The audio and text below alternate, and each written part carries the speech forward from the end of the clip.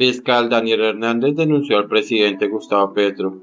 La medida la tomó luego de que el mandatario citara un artículo periodístico en el que señalaban al fiscal Daniel Hernández de tener vínculos y alianzas con el Clan del Golfo.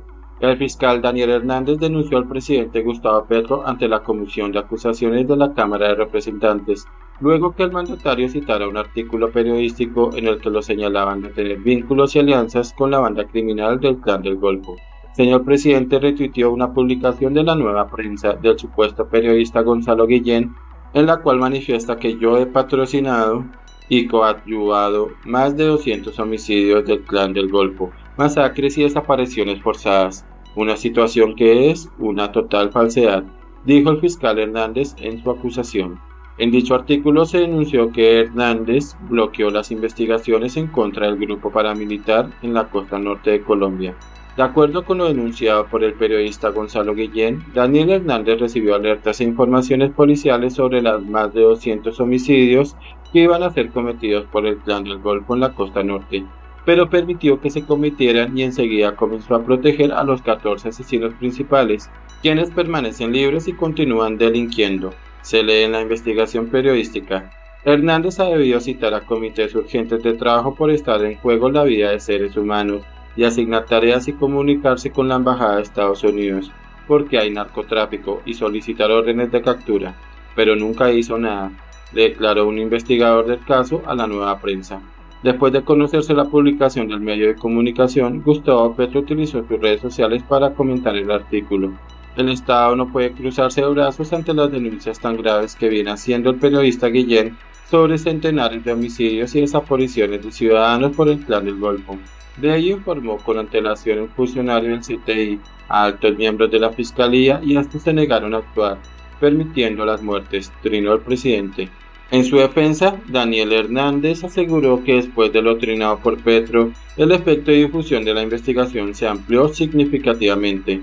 Basta con observar las estadísticas de sus publicaciones y se podrá observar que el efecto fue sustancialmente mayor. Así pues, la publicación del 3 de mayo de 2023 sobre la materia tuvo más de 611 mil difusiones o retweets y el hilo con la segunda publicación unos minutos después tuvo más de 11 mil.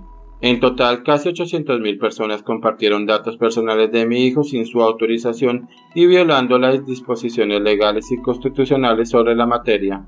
Aparece en la denuncia del fiscal.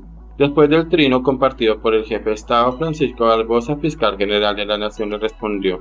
El presidente Gustavo Petro fijó un trino en contra de un funcionario judicial de la Fiscalía General, en donde señaló que hay una especie de contumacía o apoyo a los asesinatos que comete el clan del Golfo quiero recordarle, porque creo que se le olvidó, que ese funcionario fue víctima de la masacre de La Rochela donde fue asesinado su padre por los paramilitares. Pero Gonzalo Guillén, autor del artículo periodístico, replicó lo dicho por el fiscal.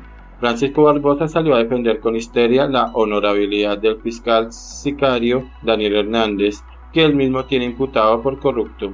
Estas declaraciones del periodista hacen referencia a que en diciembre de 2022 la Fiscalía le imputó dos delitos a Daniel Hernández, por prevaricato por omisión y amenazas a testigos porque, al parecer, incurrió en dos conductas ilegales en el proceso de Odebrecht.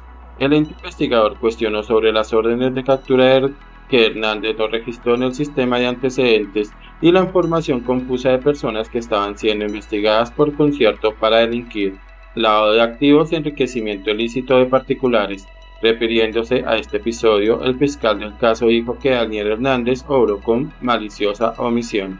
De otra parte, el pasado 22 de junio del 2022, Daniel Ricardo Hernández Martínez, en su condición de fiscal adscrito al CTI, habría intimidado en las instalaciones del búnker de la Fiscalía en Bogotá a Otto Nicolás Bula y le reprochó por su intención de querer servir como testigo contra otras personas que estarían vinculadas a las irregularidades desplegadas por Odebrecht no es una omisión per se, sino que estuvo motivada con el claro propósito de favorecer ilícitamente a los referidos, aseguró el fiscal.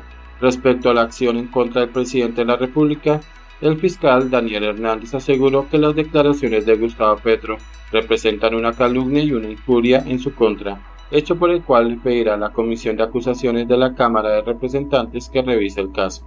Igualmente advirtió que con estos señalamientos y publicaciones puso en riesgo la vida e integridad de su hijo, un menor de edad.